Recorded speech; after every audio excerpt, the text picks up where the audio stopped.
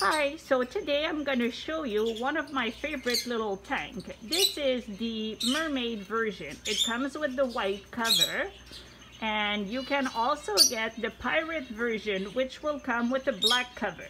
The ornament that comes with it is a shark in the pirate one and in the mermaid of course is a mermaid.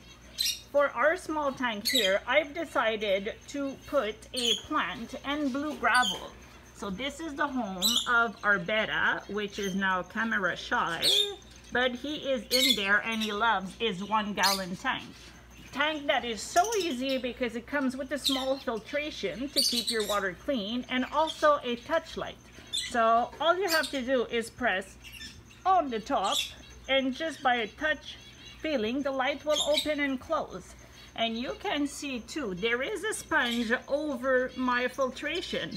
And you can see on it two pellets of food. So that is made to prevent that if there was overfeeding the food will not go in your filter and jam it. So this is such a intelligent small little tank to own. Right now on amimalerie.com the mermaid is on special at $24.99 thank you